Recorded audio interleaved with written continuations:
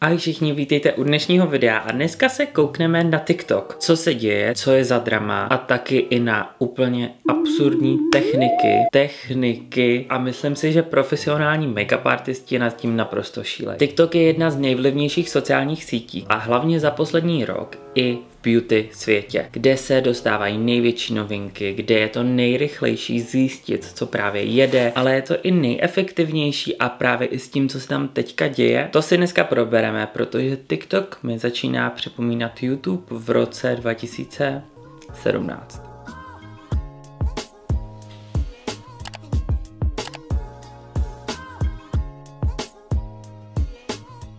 Asi hlavní otázka tohohle videa je to, jestli je TikTok vůbec opravdový, protože dneska začneme něčím, čemu prostě nemůžu uvěřit. Jdeme se kouknout společně na jedno video. Tahle ta influencerka je známá proto, že si dává opravdu tunu make-upu. A jestli vám někde přišlo, že si dávám já, nějaká youtuberka, kterou jste rádi sledovali hodně, tak koukejte na tohle. Zmiňuje teda, že má docela dost nedokonalostí na obličeji, když mě to tak jako nepřipadá.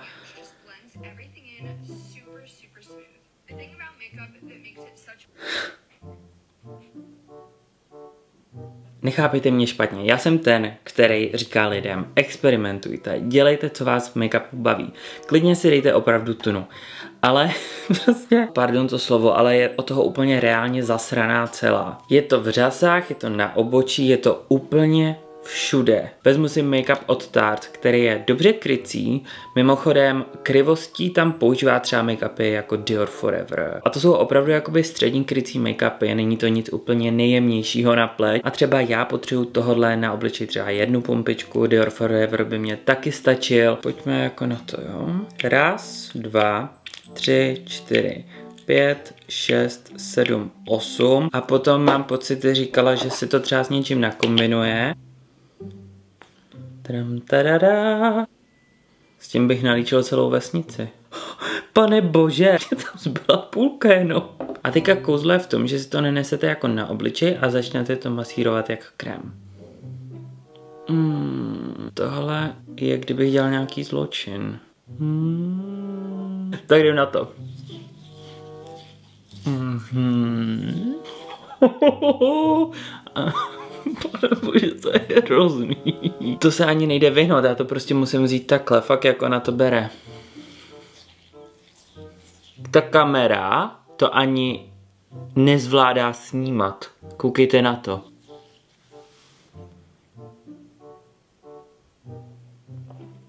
Hlavně vyblendit jako takhle. Hej, zaměř se.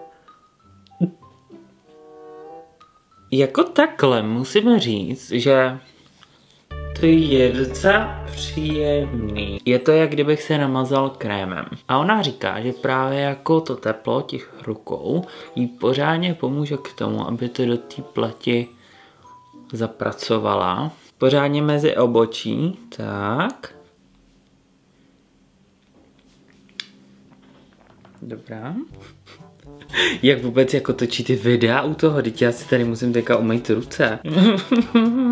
Proč jsem to chtěl vyzkoušet na vlastní kůži? Je hlavně ten důvod, že se právě o téhle slečně začalo říkat a spekulovali lidi o tom na TikToku, jestli ona vždycky to prostě na sebe nenapatla, potom to dá dolů a natočí výsledek prostě, že si udělá normálně ten make-up. A ona ne, že ne. Řeknu teda zatím jednu věc. Je to ten nejsložitější make-up tutoriál, který jsem kdy dělal. Jdu si umýt ruce ale už tam začínám vidět podobu. Hlavní vlastně chvíle, kdy přijde na to, kdy to začne všechno vypadat fakt dobře, tak je, že prostě to musíte pořádně zapracovat beauty blenderem. Takže pojďme na to. Hmm. Vypadám jako skvělá figurína reálně. Já mám úplně napuštěný beauty blender tím make-upem. Tohle prostě je idiotina. Na některých místech to vypadá líp, na některých místech to vypadá hůř, ale jak si říká, dokud jsi to neskusil, tak prostě neodsuzuj, takže dneska to vyzkoušíme. A čeho se ještě ona určitě nebojí, tak je contouring, to ona se tam vždycky nanáší a jako reálně si tam třeba ulomí kousek toho a spadne to tam po ní. To je ten základ prostě Hmm. Jinak, ježiš, já to mám celý úplně zasviněný od toho make-upu. Jinak tohle je korektor, který určitě asi znáte z drogerky, tenhle ten Maybelline. a je v odstínu 13 a jo, docela vypadá hezky, musím říct. A jak koukám, tak ani korektor není výjimka a to jako tam jede brutální pecky. No je to hrozný a ta pleť je taková prostě citlivá hodně. Já se ještě divím, že to na sebe jako se nějak vrství a že se to už necuckuje. Ale je pravda, že používám jako fakt dobrý produkty. Tohle je korektor od Debory, Milano a ten tart mám taky hodně rád, i ta konturovací tečenka nebo ten korektor v tmavším odstínu mě taky jako fakt mile překvapila rád ho teďka používám, ale řeknu vám, že kdybych použil třeba jiný produkty, tak si myslím, že už by to bylo velký špatný. Samozřejmě má na sobě spoustu filtrů, protože je to tam úplně hladký a mě vždycky zajímá, jak to teda vypadá ve skutečnosti. No a teďka vám to ukážu, jak to teda vypadá ve skutečnosti.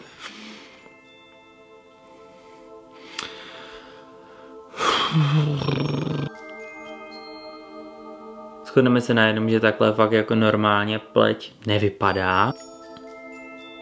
Hmm. A byla už i kauza taková s touhletou influencerkou, protože Bobby Brown vydávala produkt, který byl opravdu zamýšlený na opravdu jemný líčení. Byl to takový balzámovo-olejový produkt a to video, jakým způsobem ho zrecenzovala, ten make-up, tak to bylo něco fakt jako bizárního a spustila se šílená lavina fakt jako lavina komentářů i samotná Bobby Brown si z toho dělala srandu, vzala si tam prostě půlku toho svého make-upu a začala si to tam takhle prostě patlat na sebe. No, ale před pár dny se objevila o hodně, o hodně větší kauza. Myslím, že pokud koukáte na TikTok, tak jste museli zaznamenat influencerku Mikailu, což je podle mýho názoru jako velmi talentovaná holčina. Často vydává videa kosmetický a myslím si, že je v tom dobrá. Objevilo se jedno video, který bylo ve spolupráci a ukazovala tam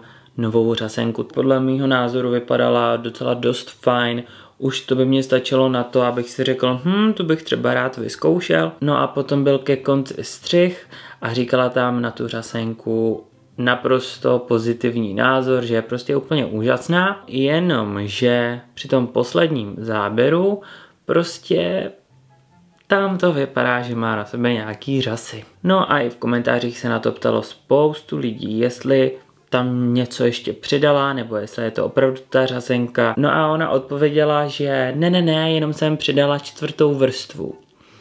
A v ten moment jsem si říkal, holka, americký girl. Tam to reálně vypadalo, že má ty své obalený řasy a potom nahoře takový jak kdyby jemňoučký. A bylo to takový jak kdyby průhledný. No, pardon. Ale v momentě, kdybych já to chtěl nafejkovat, jako a nějak bych to chtěl asi udělat prostě, aby to vypadalo jakoby skutečně, tak bych třeba vzal ty umělé řasy, obalil je tou řasenkou a potom je tam jak kdyby individuálně připnul k té každý řase, která dělá ten jak kdyby trs. To je něco, co odstartovalo takovou lavinu a dokonce už u mě ve For You page to vyjíždí víc než volby teďka. Na jednu stranu jsem rád, že tam spoustu lidí se k tomu vyjadřovalo i ze specialistů, třeba jsem koukal na video od jedné slečny, která je přímo expertka na řasy a prostě se tam k tomu vyjadřovala, říkala, že prostě je to přidaný a mně to přijde prostě strašně smutný, protože to je jedna z věcí, která prostě mě jako influencerovi dělá strašně špatně, co bych jako nechtěl být. Řešený za to, že říkám nějaký nepravdy a připomnělo mě to přesně tyhle ty takový ty drámy z roku 2018, co jsme vždycky jako tady spolu řešili. Vždycky jsem si přišel právě, že jsem začal v době, kdy my jsme spolu řešili tu pravdu, kde je ta pravda a to byl vlastně vždycky ten úkol nebo cíl. No a tak jsem se koukal prostě na různý, různý názory.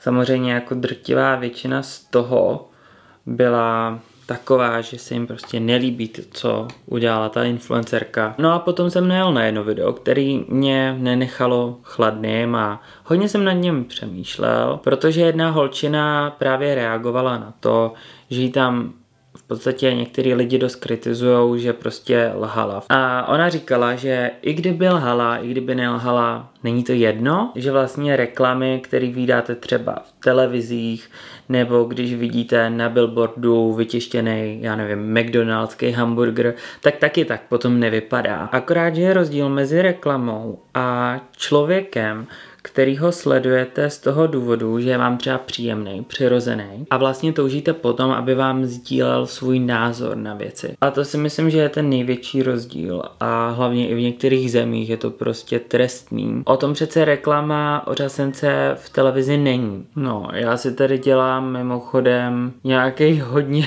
temný make-up, používám na to paletku tuhle od Tarte. Mám chuť dneska na zelenou, takže vezmu toto paletka Stoned od Urban Decay. Tak, vezmeme trošku fialovou a dám ji takhle, takhle na spodní víčko. Teďka jdu na linku. Docela jsem si oblíbil tuhletu od Maybelline, protože opravdu tenonká. I když dneska bych i mohl mít něco trošku tlustšího. Na to vůbec nejde malovat. Hrůza. Ale co mě pobavilo na téhle kauze asi opravdu nejvíc, je, že se na tom samozřejmě jako všichni teďka prostě jako přeživou, to je jasný, o tom točím video teďka vlastně i já. Třeba spoustu lidí označovalo Jeffreyho Stara u tohoto videa, ať prostě vyzkouší tu řazenku, protože byl známý hodně pro jeho upřímný recenze na make-up. Vyskočil na mě i James Charles. Jako některý lidi opravdu nemají soudnost a přijde mně, že to je přesně ten moment, kdy oni využili toho, že na někoho se teďka kouká skrz takhle prsty a říká se Ježíš Maria, co provedla tam Mikaela, co prostě to tam předvádí s tou řasenkou a oni vezmou si kus toho drama, třeba takový James Charles, který prostě byl obvinovaný z různých věcí a měl spoustu, spoustu kandá, eh, skandálů, skandálů, skandálů, tak je mu to velice komfortní. Mně to přijde prostě zvláštní chování od člověka, který byl hodněkrát namočený v něčem podobným. Proč mám to obočí černý? Já na to používám hnědou. Ale tím, že jsem tam měl prostě ten všechen make-up, tak se to nějak spojilo do téhle barvy. Jdu na šáhnu po 0,6 od Fenty Beauty a na střed dávám ještě 0,4, ta je světlejší. V tomhle videu bych nechtěla asi opomenout můj názor jako influencera na tuhletu celou kauzu. Potom, co jsem se koukal na video, který jsem právě točil a viděl jsem spoustu takových konspiračních teorií, že vlastně přesně jak to video bylo, tak tak to mělo být, že to bylo přímo domluvený pro tuhle spolupráci, že tam měly být ty řasy, aby se o tom mluvilo a aby se to prodávalo. Taky jsem slyšel to, že to měl být jako takový promyšlený návrat Jeffreyho Stara, protože Mikaela říkala asi měsíc zpátky, že už se asi na TikTok nechce vracet, protože holka měla už docela víc takovýchhle prostě přešlapů a asi to bylo na ní hodně, každý je člověk, v tom ji naprosto chápu a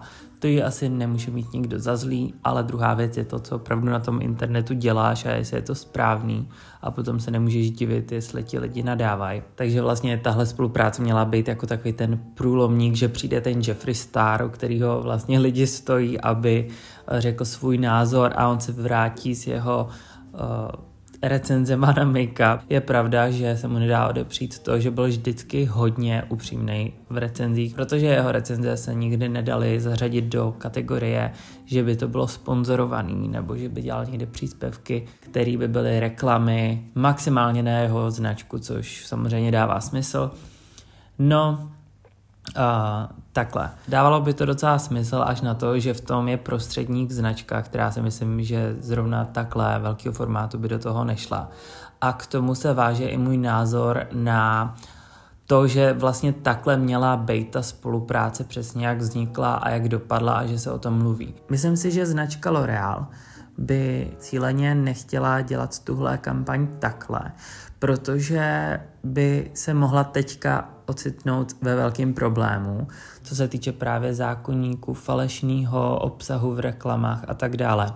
Tyhle ty podmínky a různé smlouvy se o hodně, o hodně zpřísnily. A taky mě i tenhle ten postoj k tomuhle upevnil názor od člověka, který tvořil přímo kampaně pro Maybelline, což je vlastně firma, která spadá pod koncern L'Oreal. Tohle je make-up artistka Erin, která tvořila v posledních pěti letech kampaně do reklam a říkala, že přímo musela podepsat smlouvy, že nesmí aplikovat nic víc než jenom tuhle tu řasenku, nebo si je nadzvednout ty řasy kleštičkama a tak dále a tak dále do reklam. Zmiňovala i to, že přímo pro tuhle značku byl jasný zákaz v tom, aby se aplikovalo cokoliv do těch řas, protože ono je povoleno dávat na vizuály třeba trsy řas, abyste udělali požadovaný efekt, ale musí to být uvedeno na vizuálech, že prostě to bylo doupravený něčím ještě jiným, ale prý, že mají jako interní pravidlo, který podepisovala a to říká, že prostě se neaplikuje nic víc.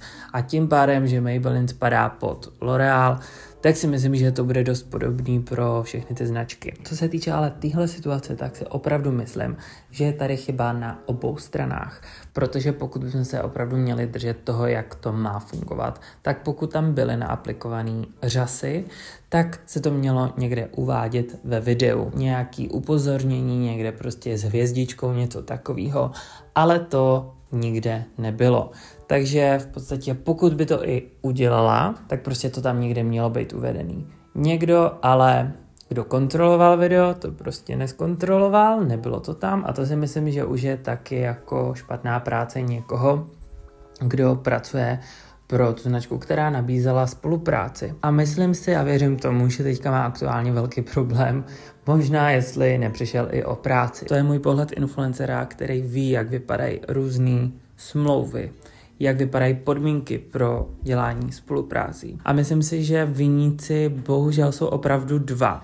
Já si myslím, že to bylo tak, že se domluvili na spolupráci, Michaela udělala video, asi chtěla prostě opravdu, aby ta spolupráce byla úspěšná, aby prostě se jí vyplatila, aby prostě získala třeba i další spolupráci. No a tak prostě tam asi přidala nějaký řasy. A tady si myslím, že Michaela udělala první chybu, že to vůbec do toho videa prostě naaplikovala. No a ten, kdo nabízel tu spolupráci a potom kontroloval video k postování, tak prostě v tom asi neudělal úplně 100% práci. Špatně to zkontrolovali a měli jí to video vrátit a říct, ne, pokud to ukazujete milionům lidem, tak by to mělo projít přes více lidí a pokud to bylo opravdu schválený, tak je to prostě špatně, jak na té, tak na druhé straně. Upřímně mě to osobně ani nepřekvapuje, protože někdy dělání a finišování spoluprácí je opravdu trn zadku. Je to někdy naprostý chaos a mělo by se tohle vylepšit, ať prostě to nedopadá takhle potom.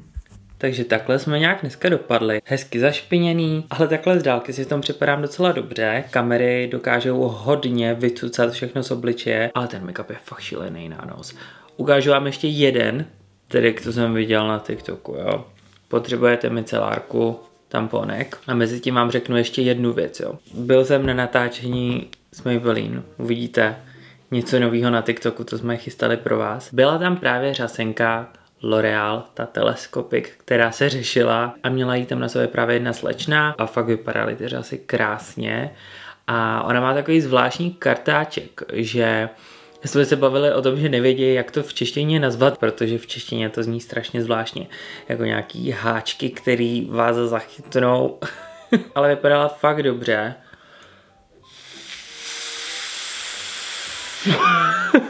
Viděli jste to? Ještě jednou. Dáte si na tamponek a prostě tím profouknete.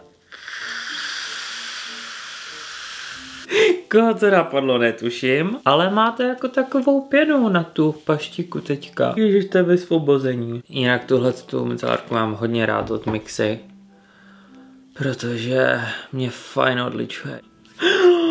Wow, no je to docela rozdíl. Napadá mě jeden point. Mně přijde, že takovýhle krytí bych získal i prostě, i kdybych použil toho produktu míň a přijde mi to strašný plejtvání. Já si rád ze své udělám srandu, takže pokud by vás napadaly další typy, co bych měl kdy, jak co vyzkoušet, tak mě určitě dejte vědět. Aha, jsem jako lehce červený, mně přijde. Upřímně bych vám nedoporučoval to zkoušet doma, protože koukejte, mám docela začervenalou pleť a nebylo mi to vlastně vůbec příjemný. Myslím si, že není vhodný používat tolik make-upu. A opravdu to teďka nemyslím tak, že třeba když někdo potřebuje něco zakrývat, když má třeba akné a opravdu na to nemá vliv jako takhle ta kosmetika, třeba hormonálně, nebo prostě někdo opravdu s tím má jiné problémy, než s tím, že by se nestaral o pleť, ale existují produkty, které opravdu dokážou zakrývat i bez toho, aniž byste si potřebovali dávat 10 pumpiček a takhle to prostě promnout tím celým obličejem, je to naprosto šílený a tohle to vám určitě nepomůže. Mám tady všechno zaprasený, reálně všechno, je toho opravdu moc úplně. A čeho jsem si všiml, tak při těch větších vrstvách ten make-up strašně zoxidoval. Jakože vidíte to. Tady je úplně úleva, ale cítím, že ta pleť prostě jí to dalo zabrat. Budu moc rád, když mě dáte vědět, co si o těch tématech dnešních myslíte. Všem děkuji za kteroukoliv podporu. Moc, moc, moc díky i za lajky. Mějte se krásně a budu se těšit příště. Mm. Čauky. thank you